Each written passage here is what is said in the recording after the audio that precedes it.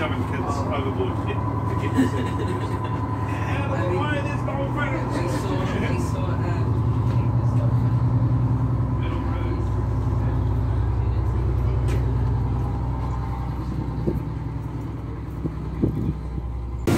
incoming time, but here in another six hours, you'll see a very different harbor.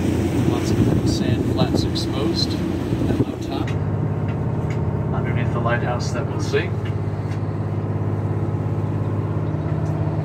Keep your eyes peeled in the water too. Sometimes we will see the viewing platform back to their burrows where they're feeding their chicks. So keep your eyes peeled in the water around us. We never know what might pop up, but if you see anything that looks a bit like a heavy duck, frequently dives away, and so the hook helps hold on to some of those big squid and fish catching. It's one of the it is the largest export terminal on the South Island of New Zealand, so very busy port. Lots of goods departing from Port Chalmers. Here the New Zealand fur seals on our left this time. They've got quite a bit of real estate up there. So the other colony on the Chatham Islands is about 17,000 adult birds, give or take.